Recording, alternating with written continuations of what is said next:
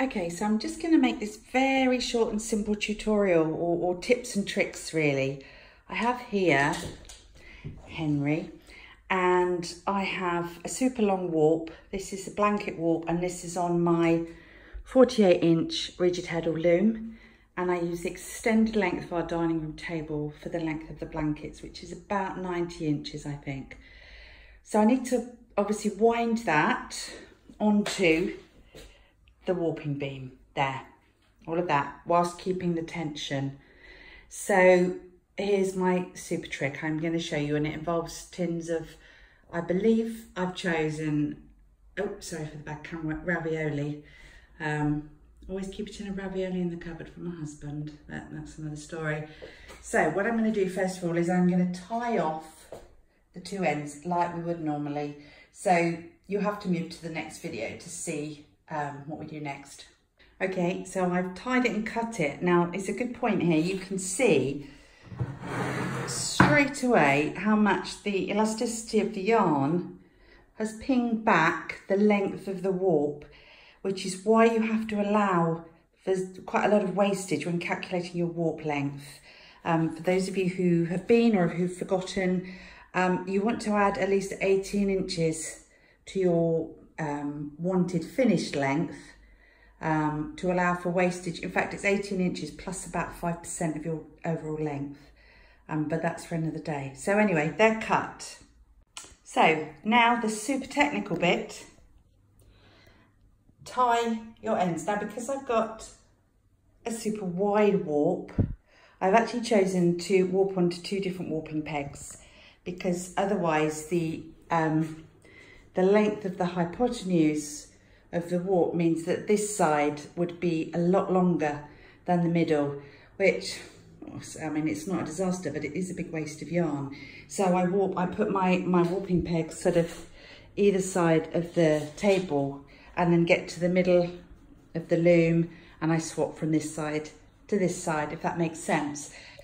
Oh, I have my finger over the microphone then. You might be able to hear that. Oh well. So I've now tied the warp around here. And what I'm going to do, I would do this normally with two hands. I'm going to pop those there. I would also normally, honestly, I need to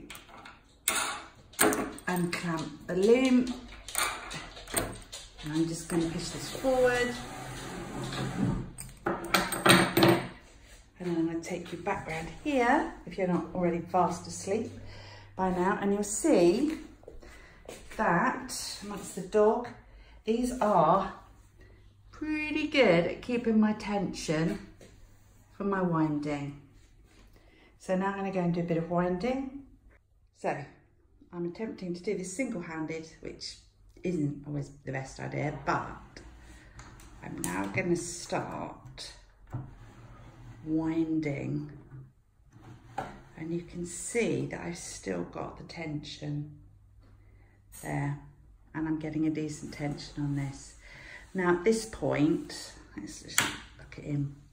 At this point, you would normally put some cardboard slots in here to also help with the tension, but I haven't got any long enough. Um, I need to cut some more. So, and then as you're winding it, you can just push your loom over more so that your ends are lower down and then you just keep winding basically. Um, and that's it. So just as a final um, share here, what I do when it gets to the point when I have to take the tins off, what I'm going to do, let me step back, is I'm going to lean against this with my leg, put my body weight on there to tension it.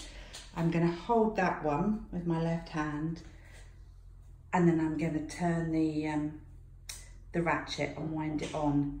I'll see if I can prop up the phone somehow to show you this very inelegant way that I do it.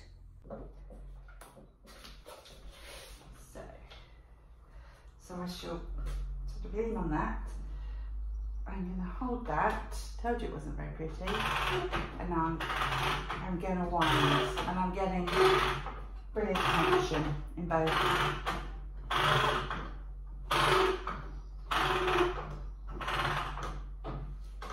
And then I've got and they've done. Marvellous.